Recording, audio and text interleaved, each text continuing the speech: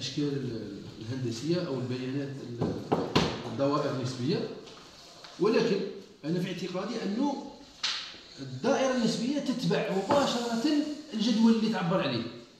مش ندير الجدول بجهة ونعاود نبدأ الدوائر النسبية بجهة.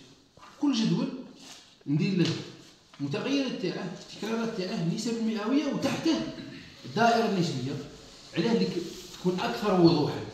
لأن الدائرة النسبية هي معبرة عن نفسها. هذا هذا في مختلف مختلف الجانب هذا حتى في الدراسة الأساسية راك نستعملها نفس كذلك أمر آخر وتطرق له الأستاذ قبلي وهو مشهور على ذلك. هي غالبا الجداول الجداول تقرأ نفسها.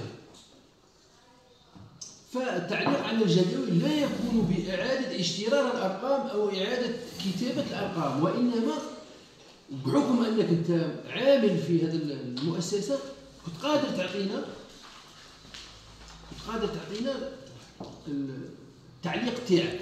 علاه مثلا الإناث في الدراسة الاستطلاعية كانوا الإناث أكبر من من الذكور. أنا نشوفها 67% ولما نرجعوا بعد الدراسة؟ الاساسيه نقول العكس. علاه؟ علاه ما حاولتش دير العينة متجانسة في الدراسة الاستطلاعية؟ ونفس الشيء في الدراسة. مادام مادام أنا كنت كنت أعتقد أنه عدد الذكور بطبيعته أقل في حين أنني في في الدراسة الأساسية وجدته أكثر. فهنا كان تساؤل لماذا الدراسة الاستطلاعية؟ 33 فقط ذكور في الدراسة الأساسية العكس. كذلك في الصفحة 234